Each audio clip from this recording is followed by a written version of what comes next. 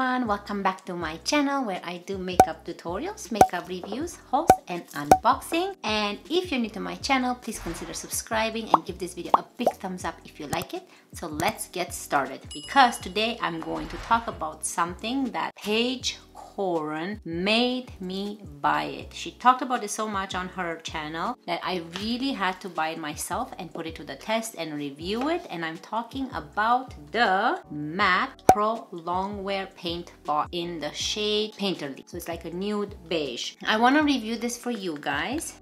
It comes like this. So it's from the MAC store and it's in the shade Painterly. And it is basically a nude beige eye primer. It's very very tiny but it does last you a long time okay? So as you can see I have my face all done. All I have is my eyes that are not done because I want to put this to the test. It's an eye primer slash eyeshadow. So you can use it as an eye primer and use it with your eyeshadows and eyeliners or you can use it by itself and just use it as an eyeshadow alone. So this is $26 Canadian, very highly pigmented. It is long wearing, very blendable, eye primer slash eyeshadow. So we're gonna check it out and see how it performs. And I'll be using the Natasha Denona Biba palette because we know that this one, like it has to perform good if this primer is that amazing. Okay, so excited I got this one. I've been watching Paige Koren for a while now and she's kind of the one, the main reason why I started my beauty channel and I really love the products she uses and she's been talking about this a lot on her channel and I wanted to try it as well. Let's open it up. Okay, it doesn't have any smell. This is what it looks like. So this is supposed to go on creamy to dry as an intense vibrant finish okay? She applies it with a brush so I'm gonna be using the Still Spa Essentials brush this one. It's kind of fluffy. And let's try it on. So you're gonna go like this a couple times. And again on my eyelids I don't have anything but a foundation. I'm loving it already. Look at this. I'll show you the difference so you apply it everywhere where you're gonna get eyeshadow on. Okay, so you can see this one is applied. I'm gonna look down so you guys can see better. And this one just has the foundation on. You can see how smooth. So it it's literally like a cream over your eye. And you can just leave it like this, add some uh, colorful eyeliner in your waterline, some mascara, and you're good to go. So this is a very quick tip you can use this as an eyeshadow or eye primer and continue adding whatever eyeshadows you want with it. It blends very, very smoothly from my first application on it. So let's do the other eye. It's supposed to create like seamless, buildable coverage without looking very heavy and creamy. It doesn't seem to crease. You don't have to set it with powder because it's an eye primer. Look at that. Oh my goodness, I really love it. And I love the color. I can just leave it as this and go be out the door, not have to worry about adding anything else. Wow, I'm loving it and it's only $26 Canadian. So if you're in the US, obviously it's cheaper. The color stays true to itself, how you put it. It doesn't seem to streak, it doesn't seem to crease at all. I don't see any creasing as you guys can see. Like I said, it can be worn alone or with any eyeshadows and eyeliners. Alone, it looks amazing, but I want to put it to the test with some eyeshadows. And what I read about this is also good for concealer. So people like to use this under the eyes and use it as concealers. I'm not gonna do that because this is like a beige, this is like a beige shades and I like to use lighter concealers. But if you do have any type of acne, you can take a little bit and cover the acne with it with your finger and you're good to go. And this is also very good for mature eyes, for hooded eyes because it doesn't crease like I said. It feels very lightweight. It feels like I have nothing on my eyelids you know like how powder and sometimes some concealer feel on your eyes it feels very very lightweight like nothing on it. And like I said it doesn't it doesn't I'm waiting and I'm waiting and it's not settling in the creases which is good. Okay so I will give you my final thoughts at the end. Let's go ahead and start using the Natasha Denona palette. Again on my face I have the Rare Beauty foundation. I'll be linking it down below and I have a video on it, on my review on it, so you can see it down below. Also, I'm using the BH Cosmetics number 5 brush. It's this one right here. It's a fluffy brush and I'll have the link on this review down below as well. So let's go into, into Prairie right here. It's this one right here. And start doing a nice eye look. See how this paint pot primer performs with because I've been using just concealer setting the concealer with uh, powder and that looked really good. So the first thing I'm noticing is very pigmented. It's very smooth. Doesn't make the eyeshadow look cakey. It seems like it's it has more of a like I don't feel it but when I apply the eyeshadow it seems like the eyeshadow actually sticks to the um, eyelid and it blends very very nice we're not gonna create a crazy crazy look today we're just gonna like put this to the test so from I'm I'm really loving it so far. Like I said, I can tell the difference between wearing this and an actual concealer with set powder. And this I'm loving. I'll probably be using it on a daily basis. Wow. And I've read some reviews on this and anyone who's been using it daily they say it lasts at least up to one year, which is amazing, right? For $26. There you go, look at this. This is so beautiful. And with this paint pot color, the colors look really good. I love it that it's like a neutral beige. They have multiple colors on the website, on the MAC website, so you can go check them out. But I wanted to try the Painterly uh, uh, primer. I love the nude beige color and I believe that's the one Paige Koren also was talking about. Okay, now I'm gonna use the same brush.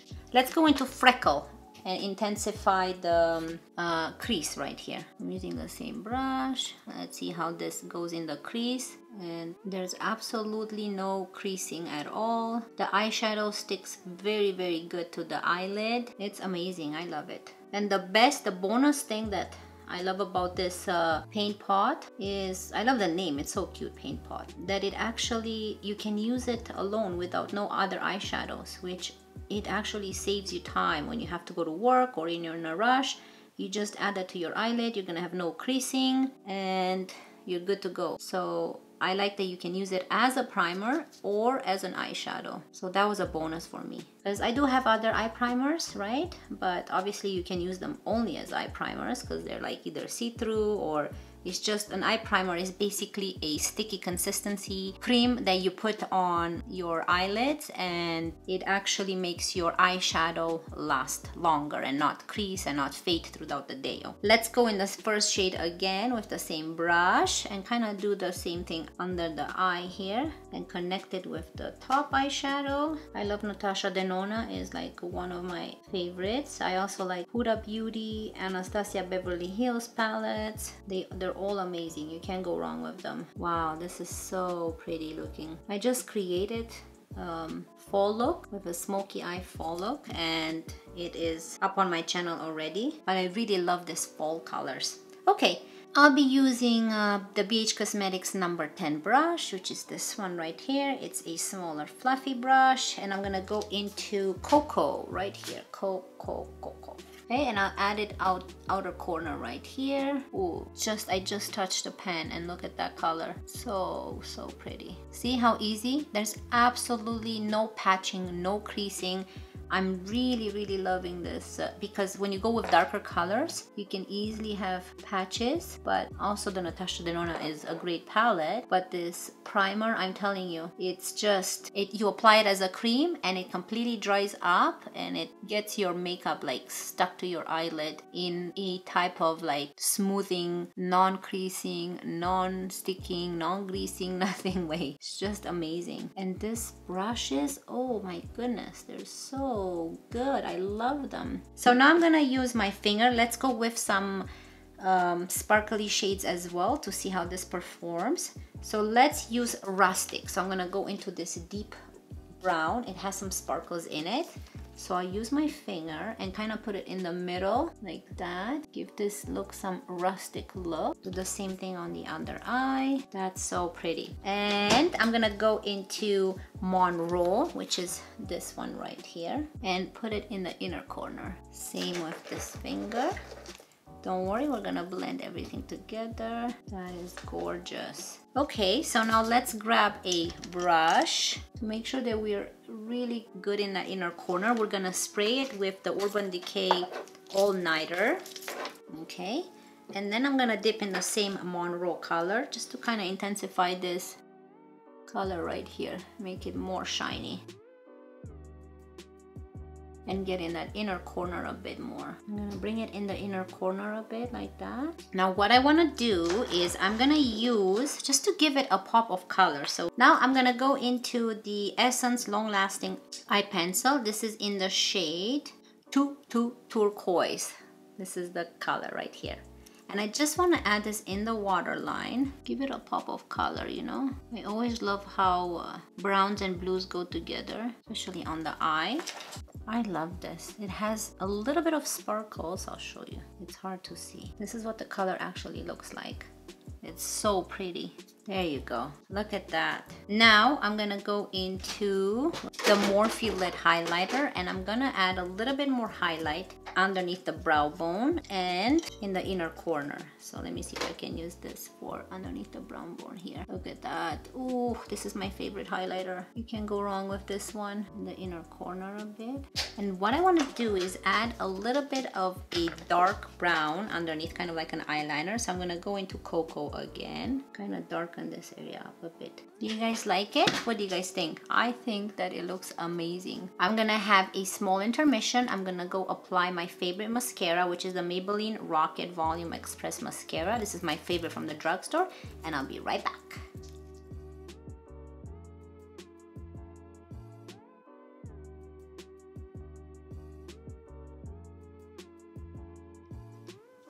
So welcome back, hope you enjoyed the intermission. As you can see, the eye look is finished. There's absolutely no creasing at all. Okay, so this Painterly Paint Pot, where is it? Right here by MAC. It is gorgeous. It's amazing. You can use it, like I said, as a eye primer. The eye primer slash eyeshadow so you can just use it by itself not add anything else just a little bit of mascara pop of color and you're good to go or you can apply eyeshadows just like what I did because I wanted to put it to the test and see if it performs as well as it does with a concealer or with another eye primer and it performs one of the best that I've ever owned I have a lot of eye primers I have a lot of concealers and my makeup has never looked this good so it, like I said, when I put it on, it's like a thick cream. You can use your finger, but I prefer to use the brush. It blended smoothly. It did not crease at all. It's not cakey. The eyeshadow performed very good. It got stuck to the eye and it's not like sticky that you cannot blend it. It is sticky in a good way. The eyeshadow was able to blend perfectly. It did not crease at all. The dark colors blended very good, which with dark color sometimes you have problems when you blend, they become patchy. They didn't, it performed really good on that. And the good thing is that this is also good for hooded eyes and it's also good for uh, more um, mature eyes, okay? So, final thoughts, best primer, best eye primer ever.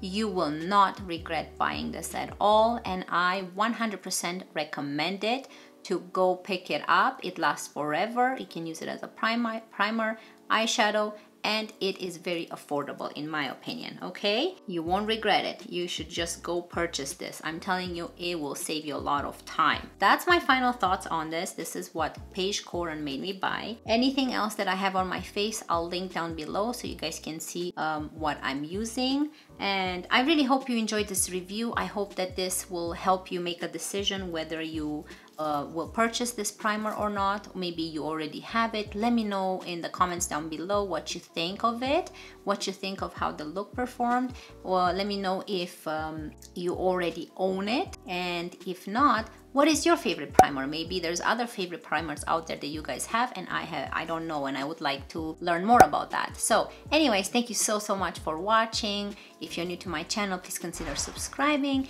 Give this video a big thumbs up if you liked it and i will see you in my next one. Thank you guys. Love you. Bye